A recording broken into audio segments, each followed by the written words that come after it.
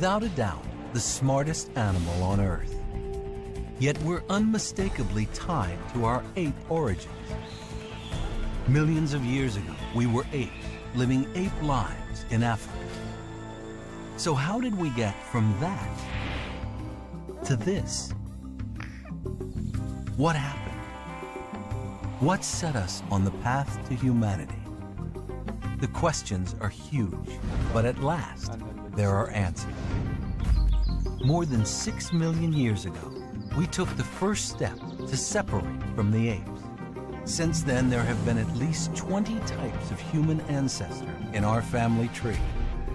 Some of them were on their way to being us. Others were evolutionary dead ends. As recently as 50,000 years ago, there were probably four different kinds of humans living at the same time. Yet today, we are a species alone. Why did we survive and all the others disappear? New discoveries are shining light on the final stages of our evolution. We're finding out where our species, Homo sapiens, came from. The genetic record shows us that all modern humans are descended from a small population of approximately 600 breeding individuals.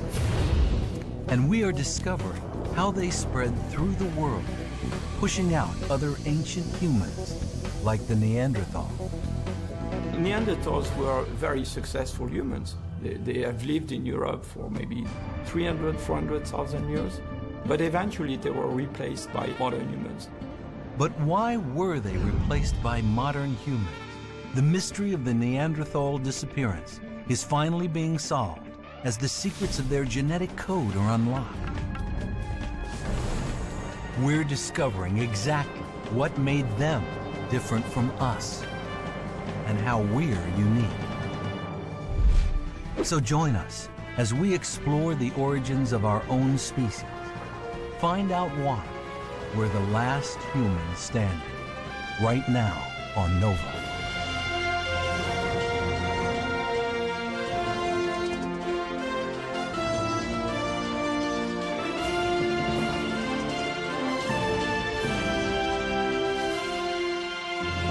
Major funding for NOVA is provided by the following.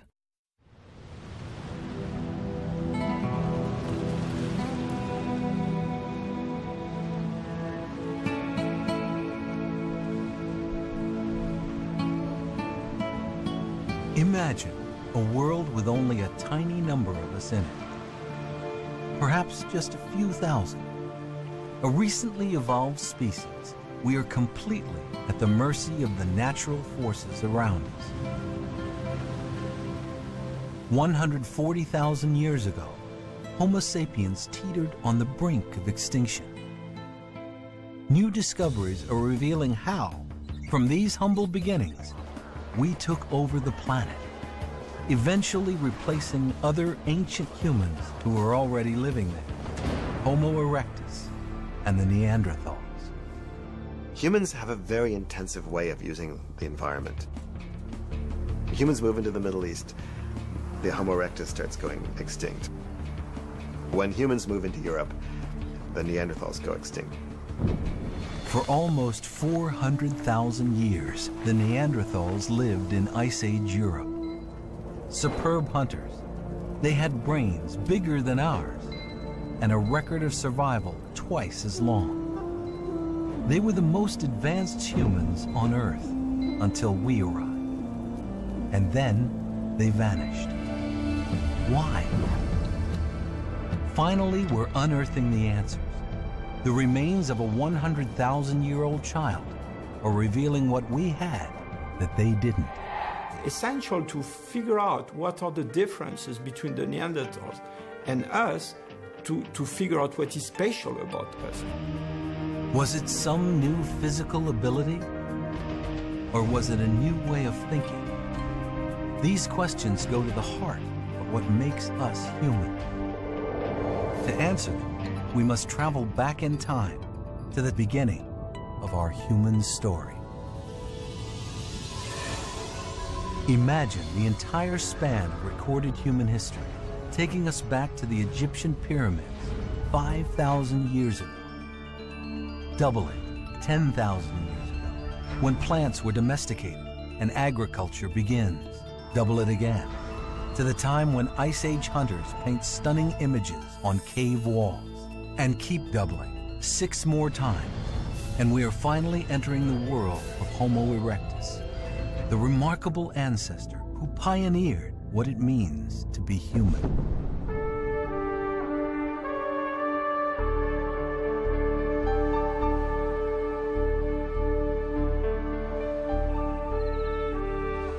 Homo erectus appeared on the African plains almost two million years ago. They were the first ancestors who had bodies like ours.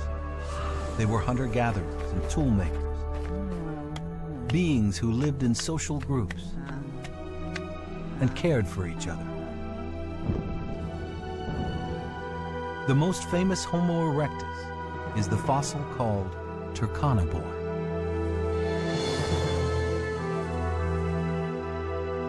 Well, Turkana Boy and his ancestors, they represent a, a, threshold. They represent that, that point in our evolution when we were we weren't quite fully a human, but we were no longer an ape. Paleo artist Viktor Deak specializes in creating scientifically based sculptures of ancient humans from their fossil remains. As he reconstructs Turkana Boy's head, ape-like features emerge heavy brow ridges, a protruding lower face, a skull still smaller than our own. But despite these differences, Turkana Boy is definitely starting to look like a human being. And behind those eyes, his mind was becoming human too. I suspect that complex feelings and and behaviors had their beginnings with Turkana Boy's kind, and that what it is to truly be a human had its bubblings at that point. It was probably Homo erectus, almost two million years ago, who first started to leave Africa. Ever since, Africa has been the engine of our evolution, pumping out wave after wave ancient humans who populated Europe and Asia. Settling in far-off places, they developed in their own special ways. An early wave gave rise in Indonesia to the extraordinary hobbit, perhaps a type of dwarf Homo erectus. Another wave took Homo erectus all the way to China where fossil remains have been dated to over 700,000 years ago. Soon after, another wave left Africa, this time heading for Europe. This was the species that would one day give rise to the Neanderthals. Ever since the first skull was discovered in Heidelberg, Germany, they have been called Homo heidelbergensis, but almost nothing was known about it until one extraordinary find was made. Atapuerca in northern Spain. These rolling hills have turned out to be an archaeological gold mine. When a railway was built over a hundred years ago, it cut right through the hills. Archaeologists later discovered this had exposed over a million years of ancient human habitation, including the oldest human remains in Europe. Nearby, on the crest of one of the hills, they also found the entrance to some caves. To explore them took years, but it has been worth it they have discovered a labyrinth of chambers and corridors reaching far inside the hills. At the end of the labyrinth is one of the most inaccessible archaeological sites in the world. A treasure trove of human fossils they call the Pit of Bones.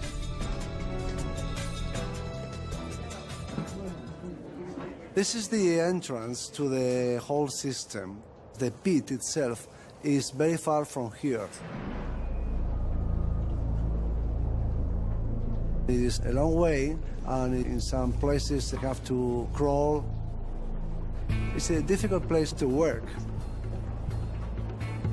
Today, it takes half an hour of walking, crawling, and scrambling in the dark to reach the 50-foot vertical shaft that drops into the pit. But it took almost 10 years for the site to give up its secrets. We started to find small pieces of human bones, difficult to recognize at the beginning because they were very fragmentary. But so many tiny fragments made them think they were on to something big. Even without talking each other, we started to think that maybe there were down there skeletons. As bone after bone came out of the pit, they realized they had not one, but many complete skeletons.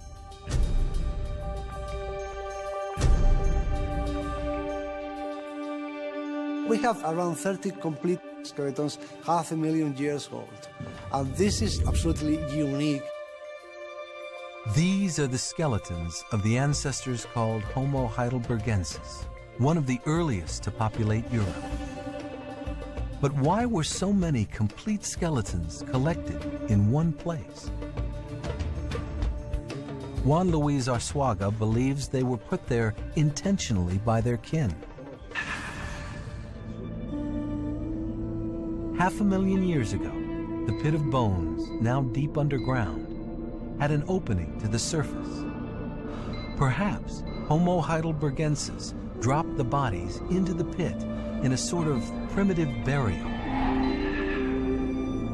And there is evidence it may have been ceremonial. Along with the bones, Juan Luis found a single artifact a hand axe made of pink quartz. A mineral which must have been brought from a long way away. The team called it Excalibur, after King Arthur's famous sword. They believe it was an offering, the first symbol ever found. If this is right, here were beings with complex minds capable of symbolism and belief.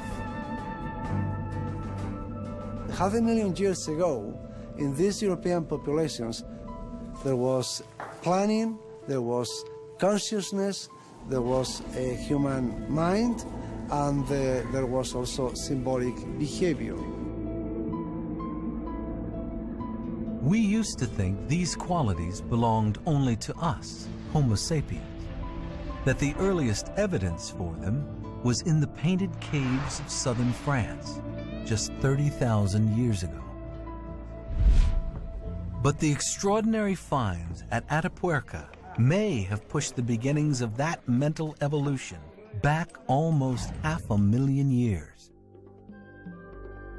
Homo heidelbergensis would continue to evolve, eventually becoming the species who would populate Europe the Neanderthals. Of all ancient humans, the Neanderthals were the closest to us. Their brains were slightly larger than ours. Their short, heavy-set bodies helped them survive repeated ice ages. They were hunters, living off the big game that roamed the edges of the great ice sheets covering Europe and Central Asia. When Neanderthal fossils were first discovered, Darwin had yet to publish his theory of evolution.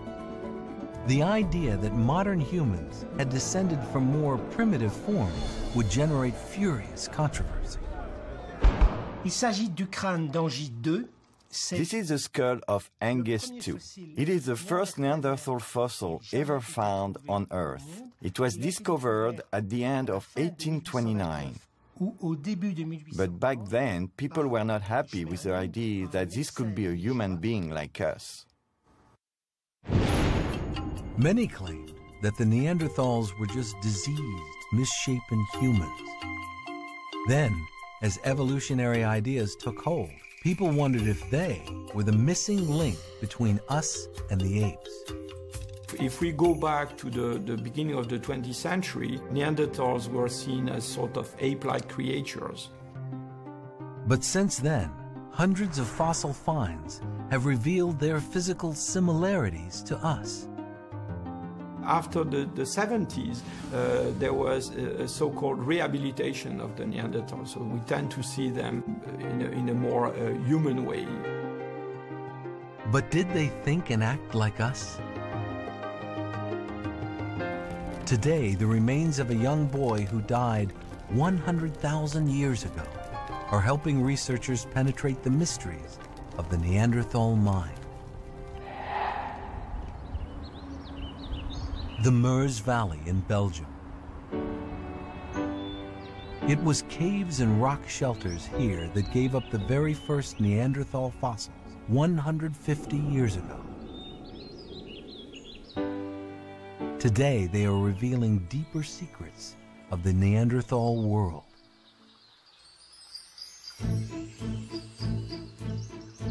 For over 20 years, Michel Toussaint and Dominique Bonjean have been excavating a cave called Scladina.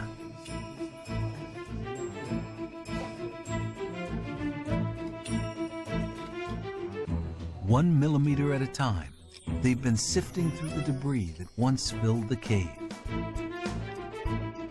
Their painstaking work paid off.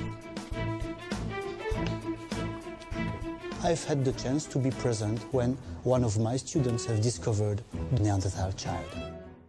And when we have come there and see that this piece was, we were so surprised, we couldn't believe. What they uncovered was the jawbone of a young boy 100,000 years old. Nearby, they found more fragments and teeth until they had almost a complete mouth. Since then, they've been trying to reconstruct the life the boy from Scladina. They know the woodlands and caves of the Meuse Valley were his home. He probably lived here with his extended family. Already, he would have been learning from his father the skills to become a hunter. But what else can we infer about his way of life? His bones are full of clues. And new techniques are allowing scientists to decipher them. Michel is taking a piece of the jaw to one of the few places in the world where the tests he needs can be done.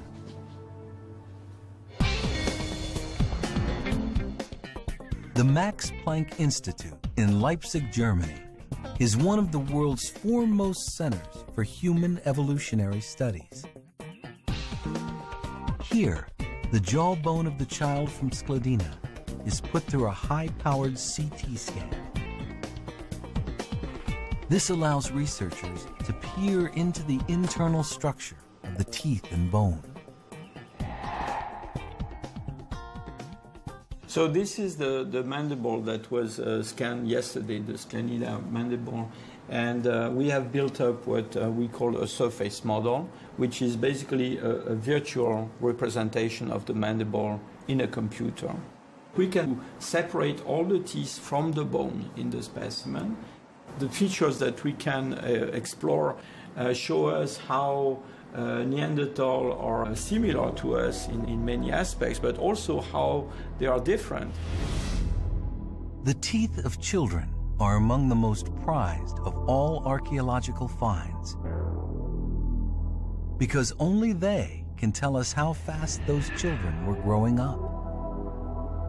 If we look at the pattern of eruption of the teeth, the, the Scladina uh, child, by modern standards, should be about 11 or 12 years old. The second molar is, is almost completely erupted. Uh, but when we look at the internal structures of the enamel and dentine, uh, it has been shown that it's, it's in fact much younger. We know that this child died around eight years old. Although the boy from Scladina would have looked like us, he probably grew up much more quickly. That means he had much less time for brain development and learning. But is it safe to assume the Neanderthals were less intelligent than we are? The crucial evidence comes from skulls. Endocasts, impressions taken from the inside of Neanderthal skulls, have revealed brains with many similarities to ours. When we look at the Neanderthal endocast, we find a frontal lobe that we can't really differentiate from modern Homo sapiens. The Broca's caps that have to do with the motor control, motor aspects of speech are thoroughly human in terms of their form. So if the front of the Neanderthal brain is similar to ours, what about the rest of it? Today, scientists like Katerina Harvati are trying to measure fossil skulls with new precision.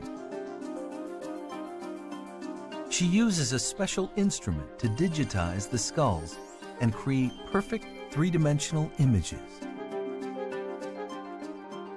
We've known for a long time that Neanderthals look different from modern humans ever since they were first discovered and described. But the question then becomes, what does this difference actually mean? This is a digitized 3D image of our own skull with its characteristic high dome.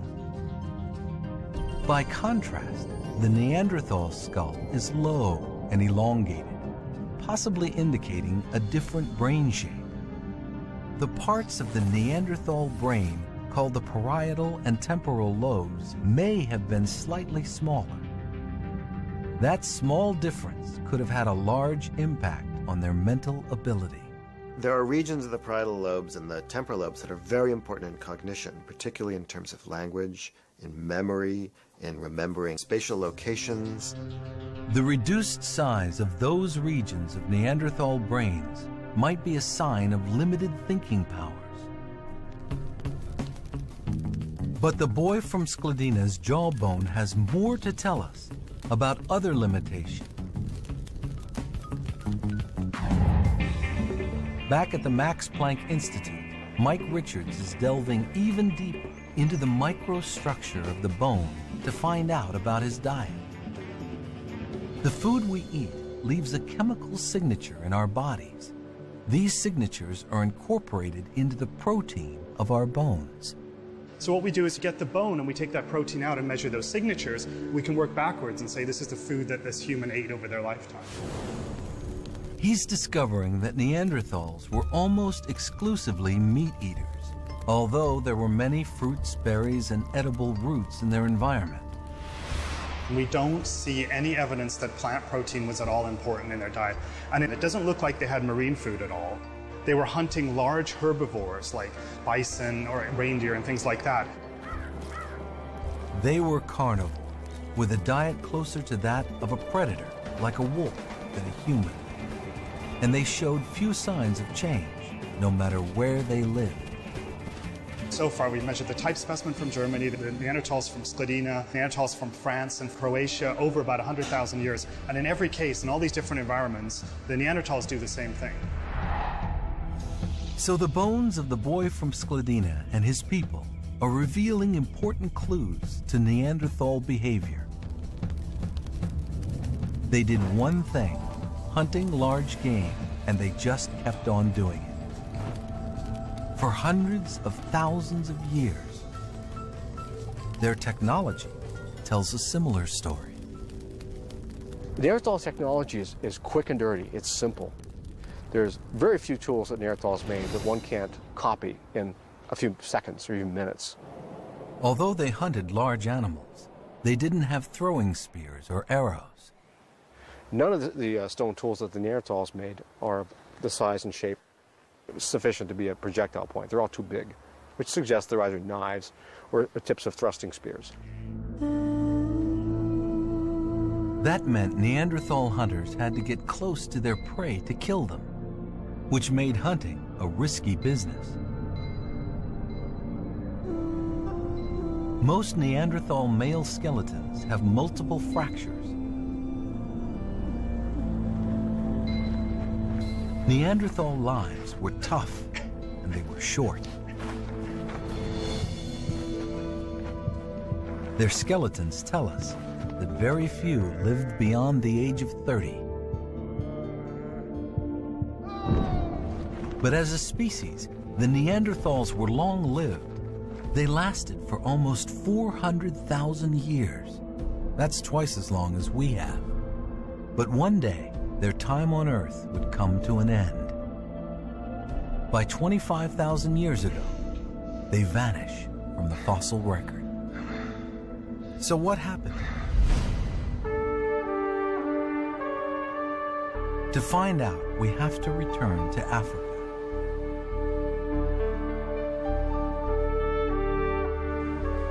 The Great Rift Valley, the stage on which so much of human evolution has played out.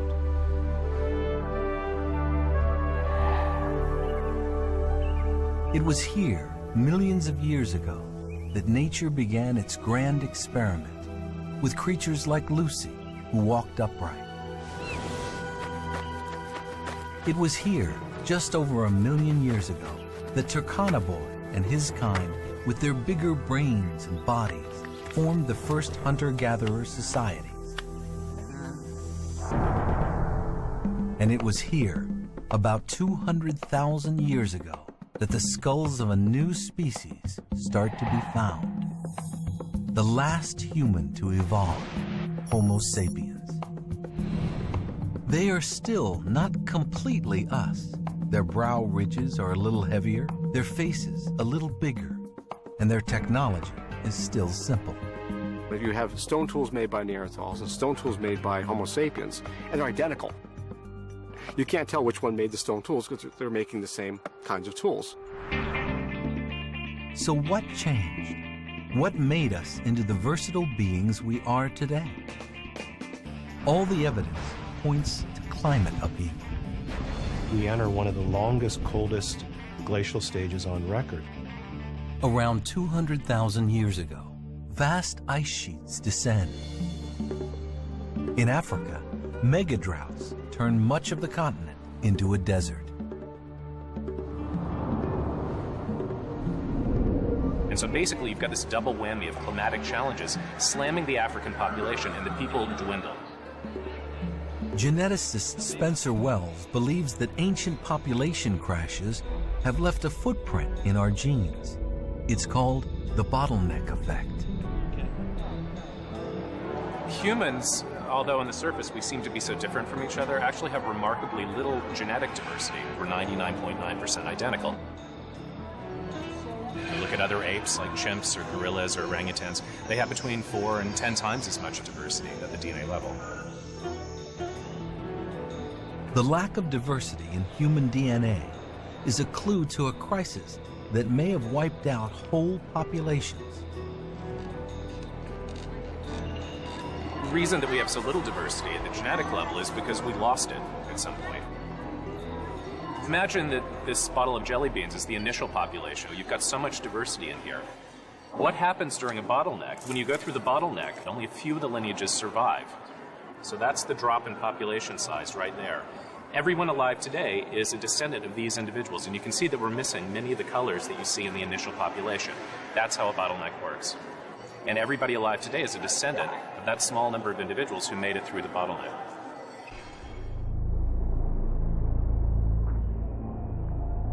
Ancient climate data shows that around 140,000 years ago, most of tropical Africa became uninhabitable.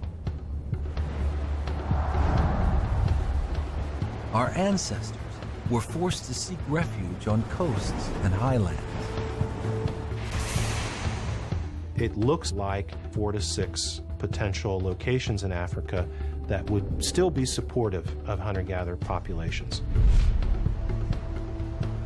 Despite the refuges, there is evidence our ancestors were pushed to the brink of extinction. The genetic record shows us that all modern humans are descended from a small population of approximately 600 breeding individuals There's disagreement about the numbers and timing, but it does seem that all people on Earth are descended from a very small original population in Africa. Curtis Marean believes they lived on the South African coastline and that it was life by the sea that forced them to change. At Pinnacle Point, South Africa, he has found caves used by early Homo sapiens ancestors during the mega drought period. They're full of clues that hint at new ways of thinking and behaving. Here, he has found some of the earliest evidence that humans were living off the sea. This darkish material here is, is ash from a fireplace, and the vast majority of this material is, is burnt shell. So clearly there was quite a bit of, uh, of cooking of shellfish that was taking place at this, this exact spot. 76,000 years ago. Somebody had a, a nice shellfish dinner there. Here was a population that was broadening its diet away from meat,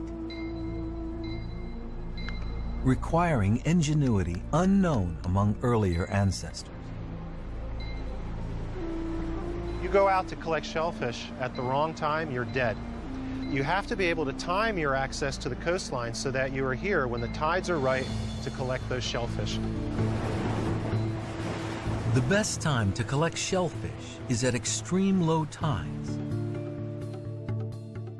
And to predict those, it helps to understand the cycles of the moon.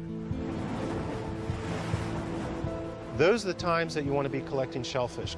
All the shellfish are exposed. So this water, which you see here, is out there at that point where that rock is. So the smart coastal hunter-gatherer knows how to use the moon to signal to them when to come to the coastline to collect the shellfish. The people of Pinnacle Point were not just harvesting shellfish, they were also hunting on the plains behind the coast and gathering berries and roots. Their way of life reflected a new versatility. The systematic use of coastal resources does suggest a, a cognitive complexity. Our ancestors occupied these caves for over 140,000 years, leaving behind an amazing record of their transformation. This site documents a change in the way that people made stone tools. At the bottom of the sequence, they made stone tools with this rough quartzite material. And then right at about 71,000 years ago, which occurs just about there in the sequence, they make a shift to making stone tools on this silcrete in the form of long, thin blades. Before flaking it, the people here were heating this material in the fire, and through heating it, improved its flakability. And that was at about 71,000 years ago, about 40,000 years older than that has been found anywhere else in the world. The technology of our ancestors was expanding from the single all-purpose hand axe to a variety of lighter, specialized tools. Then they started to make these kinds of things. They made tools with special little points for perforating tasks. This, they made others with special little chisel ends for carving tasks. Specialized tools allowed our ancestors to get more out of their environment. But this wasn't the only change. And at this point, we begin to see people treating stone tools as symbols. They're making them more complex than they need to be to accomplish a particular cutting task. So at this point, stone tools are no longer just tools for cutting things, they're instruments of, of carrying social information about their owners. A new type of symbolic consciousness was emerging. The first evidence of decorative art made from a naturally occurring mineral called red ochre has been found at Blombos, another cave along the South African coast. While we were excavating more or less in this area you can see over here, we found a chunk of ochre. And when we brushed up the surface of the ochre, uh, we realized that there was actually a design on the one side. And once we looked at it in more detail, held it up to the light, uh, we could see a crosshatch pattern that had lines zigzagged across the surface of this flat ground surface um, and also had lines across the top, through the middle, and along the bottom. And you can imagine there was enormous excitement because we did not expect to find um, something that might represent a symbolic image uh, in these 75,000 year old levels. So uh, this really was an enormous, an enormous surprise for us. At Blombos, they've also found shells with holes drilled in them, believed to have been used for necklaces. So our ancestors were now wearing ornaments and probably painting their bodies as well. For me, what is really important is here, for the first time, really ever, we have evidence that people can store information outside of the human brain. It is the birth of a new type of human culture. More complex, but easier to pass on from generation to generation.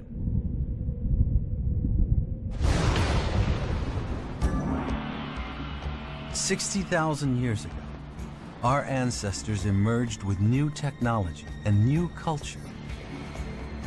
Thousands of years of drought had forced them to change. They were ready to explore the world. As the climate improved, they started to stream out of Africa.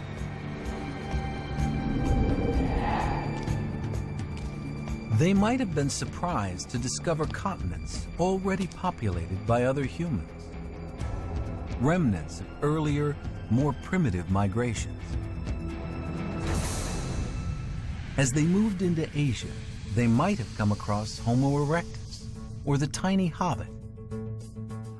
There's no evidence for such a meeting, but there is one encounter we can be more certain about. As a separate wave slowly moved through the Middle East into Europe, they must have met the Neanderthals. What were those meetings like? For many years, scientists speculated that early Homo sapiens populations absorbed the Neanderthals through interbreeding. If they did, there would be traces of Neanderthal DNA in our genes today. But there was no way to detect Neanderthal DNA until researchers at the Max Planck Institute set out on a daring scientific odyssey. The quest to sequence the Neanderthal genome. The human genome contains approximately 3 billion chemical bases, the A's, T's, C's, and G's that make up our genes. Mapping that was hard enough. The idea of mapping the genome of a long extinct species seemed pure fantasy. But that didn't stop Svante Pääbo from dreaming about it. The first problem was to get DNA from Neanderthal bones over 30,000 years old. In most cases, DNA degrades steadily over time, leaving only minute fragments.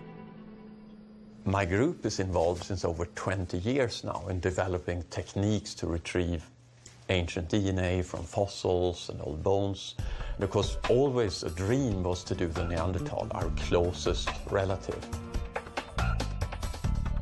But finally, taking great care not to contaminate it with their own, they isolated the first piece of Neanderthal DNA. Svante's dream is now a reality. He and his team have made a draft of the entire Neanderthal genome. Now scientists all over the world can compare key parts of it to the human genome. And one such comparison is already giving us deeper insight into the Neanderthal brain.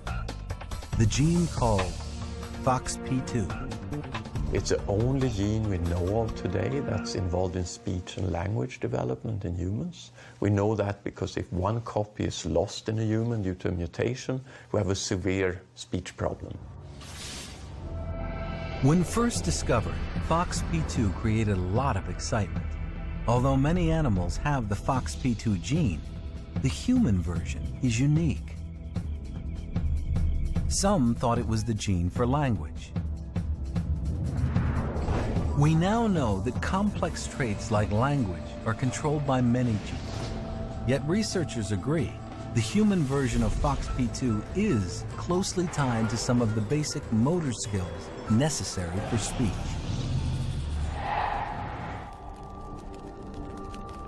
And the big question was, of course, is that shared with Neanderthals or not? And when we now look at it in the Neanderthal, indeed it looks to be identical with us. It's tantalizing evidence that despite their mental limitations, the boy from Scladina and his people may have been able to speak. If we share the capacity for language with the Neanderthals, could we both have inherited it from the same source? A common ancestor who gave rise to both species. Who was it? With a technique called the molecular clock, scientists can now find out.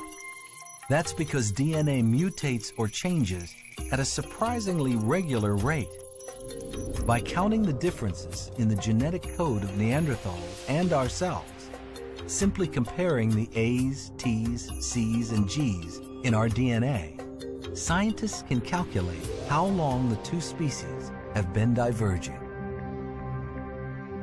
We can then estimate when there was a common ancestral population where some individuals went on to become modern humans, some went on to become Neanderthals. It's in the order of, say, 300,000, 400,000 years ago. The timing points straight to the intriguing ancestors who left Africa half a million years ago and buried their dead in the hills of northern Spain leaving a distinctive pink hand axe at the spot. This is Homo heidelbergensis, who we now know is our ancestor too. In Europe, they evolved into the Neanderthal. In Africa, groups that had not yet migrated evolved into Homo sapiens. So DNA is revealing we share a common ancestor with the Neanderthals. But do we carry some vestige of Neanderthal DNA in our genes? Proof that we absorb them by interbreeding. Some people claim that there are some hybrids of Neanderthals and modern humans. In the, in the genetical record, we don't see clear evidence of that. The big story is that there were Neanderthals, they were replaced by other people, and, and, and after a, a rather short time, we don't see any trace of the Neanderthals in Europe. And certainly today, we don't see really traces of Neanderthal genes. With no evidence of interbreeding, it now seems more likely that as our population grew, we simply pushed the Neanderthals out of their environments. Humans have a very intensive way of using the environment. We seem to have the ability to pump out lots of babies, and our babies seem to have a high probability of surviving. So population growth is a really important part of the, of the human adaptation. The arrival of Homo sapiens was not the only thing the Neanderthals had to contend with. Europe was gripped by wild climate swings. The Neanderthals were already struggling to survive. Probably the density of Neanderthals in the, in the landscape uh, was very low. And there was a good reason for that. Neanderthal technology was limited, and their energy needs were huge. They had this big body, this big brain, living in a rather cold environment. So we, We have estimates of their uh, energy consumption every day. It's about 5,000 kilocalories. It's about what, what uh, someone racing the Tour de France is spending every day. But with slimmer, taller bodies, modern humans had lower energy demands and an ever-improving toolkit. They now develop yet another breakthrough technology, projectile weapons, throwing spears. These are two very different kinds of spears. These are the big, heavy wooden spears that Neanderthals and their ancestors used. These are the lighter, bone-tipped spears that Homo sapiens used. These weapons have different kind of performance characteristics. The, the heavy spears are effective, but they're effective at a very short range, and they're heavy. You can only carry so many of them in, one hand. The, the bone-tipped spears are lighter, they're more durable, they have a longer effective range. In essence, the, the bone-tipped spears that our ancestors used allowed them to hunt a wider range of animals more safely, and therefore to have a broader ecological niche. These big, heavy spears with their, you know, their weight, their relatively short range, it's like hunting with a pistol. Whereas using these things is like hunting with a semi-automatic rifle. One has more than one shot, one has greater range. It's a more effective weapon.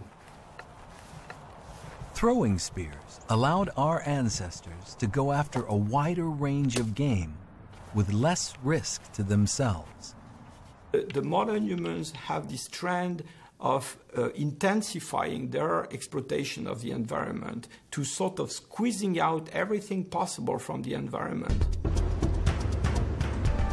That trend, already established in Africa, would become more pronounced as our ancestors spread around the world. Archaeologists have been able to track their movements by the extinctions of large animals. In Europe and Asia, the arrival of Homo sapiens coincides with the disappearance of the hairy mammoth, the cave lion, and other large mammals. In Australia, most animals weighing over 100 pounds vanish within a few thousand years of our arrival. The effects of Homo sapiens on large animal communities become more profound as you move further and further from Africa. So very few major extinctions in Africa, a few of them, a few extinctions associated with Homo sapiens moving into Eurasia. And then when they hit, when they hit Australia and the New World, it's a wipeout.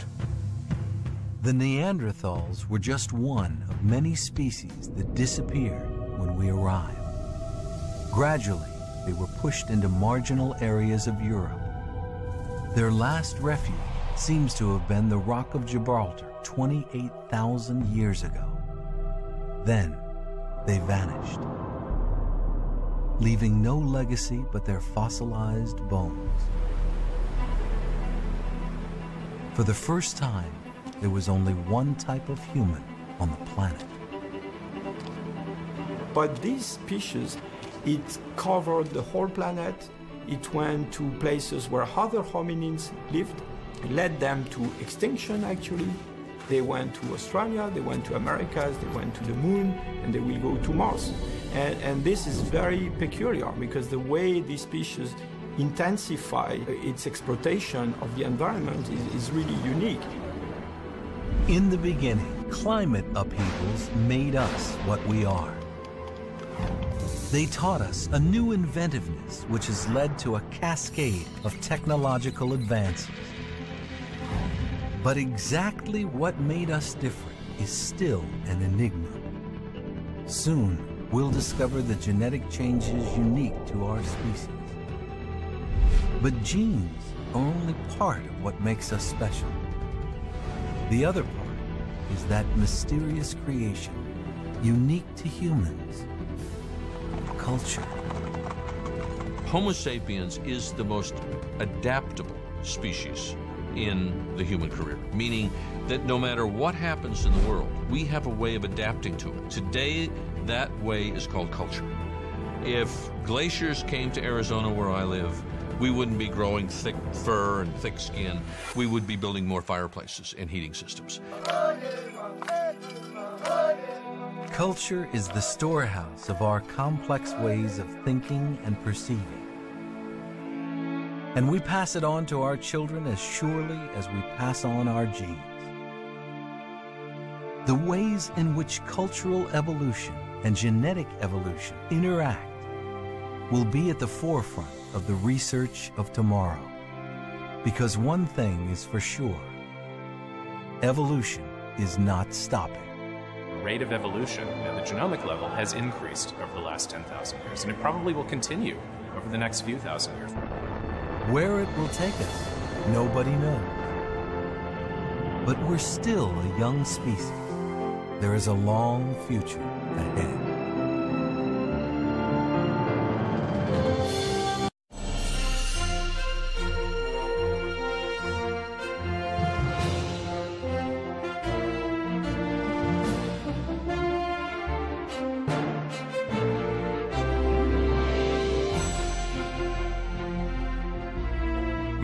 Nova program is available on DVD and Blu-ray at shoppbs.org or call 1-800-PLAY-PBS.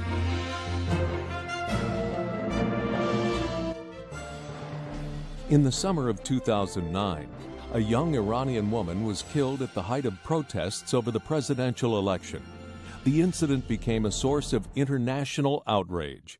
Stay tuned for A Death in Tehran